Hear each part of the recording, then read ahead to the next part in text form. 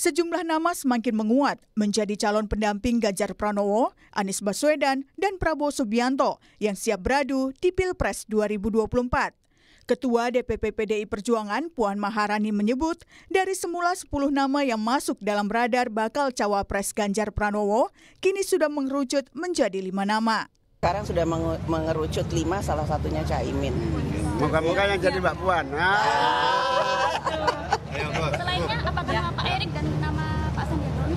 Pak Sandiaga, Pak Erik, Pak Andika, Mas Ahaye, Caimin. Mantap Nah, semua tuh ya mantap. Akan ada lagi Mbak? Dari calon udah seneng kita. Apa? Ya, ada 10 nama tapi sekarang sudah mulai mengerucut ke lima nama. Disebutnya nama Agus Harimurti Yudhoyono tentunya menjadi hal yang menarik. Pasalnya, Partai Demokrat yang dikemudikan oleh AHY merupakan salah satu partai yang mendukung Anies Baswedan sebagai calon presiden. Namun hingga saat ini, Demokrat tetap memastikan komitmennya dalam mendukung baca pres Anies Baswedan di Pilpres 2024. Ya, bagaimanapun kami saat ini posisinya sudah tegas dan jelas. Kami di Koalisi Perubahan dengan mengusung Mas Anies Baswedan sebagai capres kami. Inilah jalan politik yang ditentukan oleh Partai Demokrat sampai dengan saat ini. Meski nama ketua umum salah satu partai pendukungnya masuk radar bakal cawapres kubu tandingan, toh Anies Baswedan tetap memilih merahasiakan calon pendampingnya di Pilpres tahun depan. Anies berkilah masih menunggu waktu yang tepat untuk mengumumkannya. Kita dulu nggak jadi kejutan lagi. ya tak? Kira-kira siapa pak? ya kalau diumumin sekarang nggak kejutan. Mudah-mudahan nanti.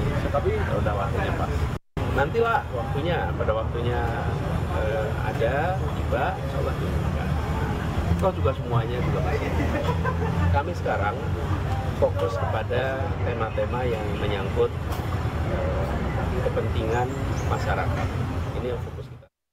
Satu lagi bakal calon presiden yang juga dinanti pendampingnya adalah Prabowo Subianto. Sejumlah nama digadang, mulai dari Muhaimin Iskandar, Ketua Umum PKB, yang merupakan mitra koalisi Gerindra di Koalisi Kebangkitan Indonesia Raya, hingga Erick Thohir, Menteri BUMN sekaligus Ketua PSSI.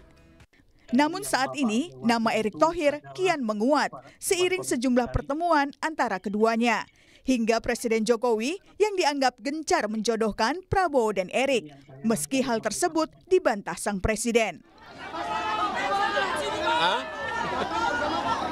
Ini kita mau ke Pindad, ke Kabupaten ke ke Kabupaten Malang ini mau ke Pindad. Pindad itu berada di bawah Pak Menteri BUMN Erick Thohir dan di bawah Pak Menteri Pertahanan Pak Prabowo. Ya, nggak ada hubungannya dengan yang ditanyakan. Lalu kapan ketiga bakal calon presiden ini siap mengumumkan bakal pendampingnya di Pilpres tahun depan? Tim Liputan, Kompas TV.